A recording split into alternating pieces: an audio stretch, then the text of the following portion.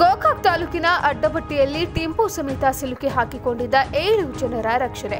ಪೊಲೀಸರು ಎಷ್ಟೇ ಹೇಳಿದರೂ ಕೇಳದೆ ನೀರಿನಲ್ಲಿ ಟೆಂಪೋ ತೆಗೆದುಕೊಂಡು ಹೋಗಿ ಹುಚ್ಚುತನ ತೋರಿದ ಡ್ರೈವರ್.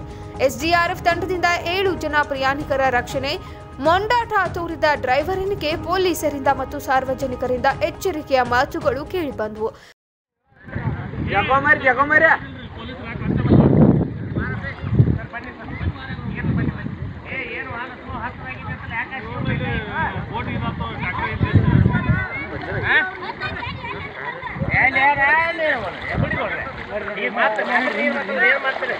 ಏ ಪರಮ.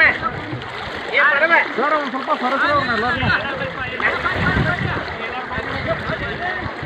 ಅರೆ ಬಾ ಏ